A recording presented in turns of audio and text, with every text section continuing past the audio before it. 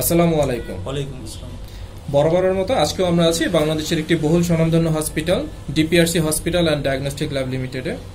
এখানে আমরা একজন রোগীর সাথে কথা বলব। প্রথমে জানতে চাইব আপনার নাম। আমার নাম রতন চন্দ্র দাস।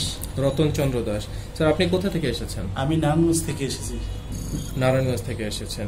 আচ্ছা একটু জানতে চাইব এই ডিপিআরসি হাসপাতালে আপনি মূলত কি সমস্যা নিয়ে ভর্তি হয়েছিলেন? আমি আমার পায়ের হাঁটুতে ব্যথা ছিল আচ্ছা। এবং কোমরে ডিস্ক বেড়েছিল যার জন্য আমি এখানে চিকিৎসার জন্য এসেছি কতদিন যাবত আপনি এই সমস্যাটাই ভুগেছেন? সমস্যা আজকে তিন চার মাস ছিল। ফেসবুকে স্যারের ছবি দেখে আমি এখানে ট্রিটমেন্ট নিতে আসলাম। আচ্ছা এই ডিপিআরসি হসপিটালে আপনি মূলত কোন ডক্টর সাহেবের আন্ডারে ভর্তি ছিলেন? ডক্টর মোহাম্মদ সফিউল্লাহ প্রধান। প্রধানের আন্ডারে আপনি ভর্তি ছিলেন।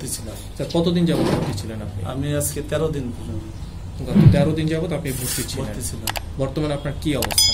বর্তমানে আমার অনেক ইমপ্রুভ অনেকটুকু ইমপ্রুভ অনেক ইমপ্রুভ আমি স্যারের দোয়া- করি, যেমন আর বাকি দিনগুলি স্যারের কাছে চিকিৎসা।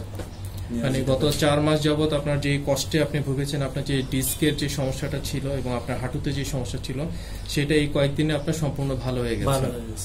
আচ্ছা একটু জানতে চাইব যে এই সমস্যাটার জন্য কি এর আগে আপনি কোথাও ট্রিটমেন্ট করিয়েছেন? এর আগে আমি নারায়ণগঞ্জে ট্রিটমেন্ট করেছি ওখানে কিছু হয় নাই। আচ্ছা হয়তো আপনি মেডিসিন খেতেন মেডিসিন ভালো মেডিসিন খাওয়ার পরে ভালো থাকতেন এরপর আবার আগের অবস্থা চলে আসছে। অবস্থা চলে আসছে। আচ্ছা জানতে চাইব যে এই ডিপিআরসি হাসপাতালের ঠিকানাটা কীভাবে জানতে পেরেছিলেন প্রথম?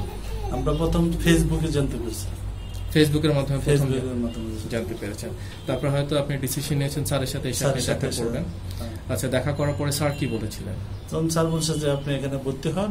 আপনার যে ডিক্সের যে সমস্যাটা এটা আমরা সমাধান হয়ে যাবে আচ্ছা তো এখন আপনি মোটামুটি ভালো সুস্থ করছেন? এখন আমি মোটামুটি ভালো সুস্থ আছি।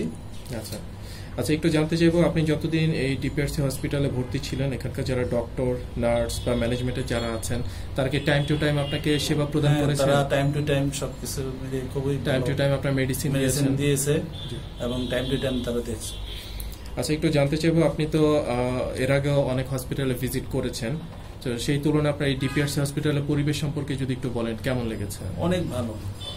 ডিপিআরসি হসপিটালের পরিবেশটা অনেকই ভালো।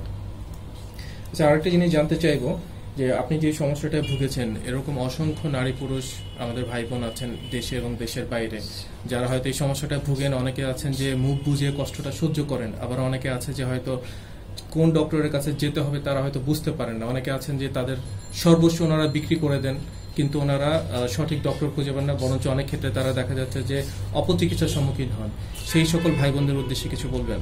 আমি আমার যারা তো আত্মীয় স্বজন বা যারা বন্ধু বান্ধব যারা থাকবে আমি তখন ওই কথাটাই বলব যে সফিউল্লাহ প্রধান স্যারের ডিপিআরসি হাসপাতালে ওখানে যে আপনার চিকিৎসা এটা আপনি বিশ্বাস করেন আমি বিশ্বাস করি ওখানে। যে ভালো যে আপনার বিশ্বাস যে একবার হলো ওনারা ওনার সাথে সাক্ষাৎ করুক বা দেখা করুক। দেখা করুক। আচ্ছা একটু জানতে চাইব সবশেষে যে আপনি তো অবশ্যই অনেক হসপিটালে গিয়েছেন। এই ডিপিআরসি হসপিটালে যে সেবা পেয়েছেন সেটাকে আউট অফ টেন দশের ভিতরে কত দিবেন মার্কস দশের ভিতরে একশোই দিতে হবে। আচ্ছা আচ্ছা। আসলে অনেক সুন্দর করে বলেছেন। বিজি ট্যুরিজমের পক্ষ থেকে আপনাকে অসংখ্য ধন্যবাদ আপনার মূল্যবান সময় এবং মূল্যবান মতামত দিয়ে সহযোগিতা করার জন্য। আসসালামু আলাইকুম। ওয়ালাইকুম আসসালাম। আমরা জানি আপনার প্রিয়জন আপনার জন্য কতটা গুরুত্ব বহন করে। প্রপার ডায়াগনোসিস কনসালটেশন পেইন ও প্যারালাইসিস চিকিৎসা পুনর্বাসন আমাদের সব আয়োজনই সব সময় আপনাদের জন্য চব্বিশ ঘণ্টা খোলা। আমরা চাই না আপনারা বারবার আমাদের কাছে ফিরে আসুন তবুও আমরা আছি সব সময় সর্বদা আপনাদের পাশেই। ডিপিআরসি হসপিটাল লিমিটেড আস্থা বিশ্বাস ও নির্ভরতায় অবিচল।